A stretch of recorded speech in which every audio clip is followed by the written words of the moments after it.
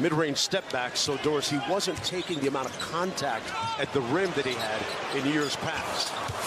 As the ball is chased down out of bounds, it'll stay. He can shoot the basketball. There times with the Clippers where he actually passed up too many. Muscala didn't pass that one up. It's out of bounds. It'll come back the other way. Cross court, Grant Williams. Nice show and go. Good catch by Muscala. A long two is good. Filling in for Morant. Nice. Jones has been a very prolific, productive backup for them. Kennard with his first field goal attempt. Here's Pritchard, who had expressed a desire to get more run and play more. Perhaps a trade deadline target. Muscala with the three.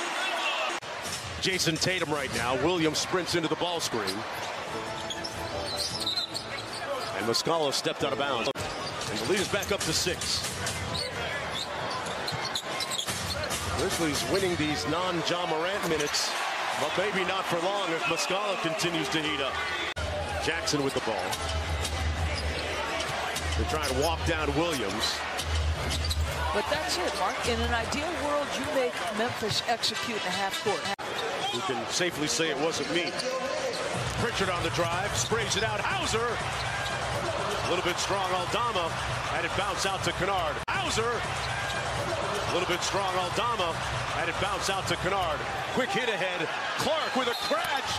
And the finish. Wow. What a dime drop by John. The NBA family celebrates black history and reaffirms our collective commitment to create a more diverse and equitable future. Rewarding to be part of a league that considers inclusivity an important part of it.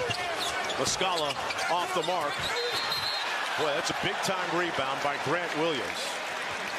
Well, they start with a big physical guy who's trying to first prohibit catches and then really being physical at the point of attack. Muscala got open for the floater. Boy, Mike Muscala has been a seamless fit.